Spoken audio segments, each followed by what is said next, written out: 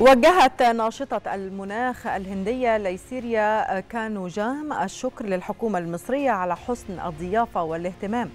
جاء ذلك خلال زيارتها لأهرامات الجيزة. تعد هذه الناشطة الهندية ذات الحادية عشر عاما من أصغر نشطاء المناخ في العالم.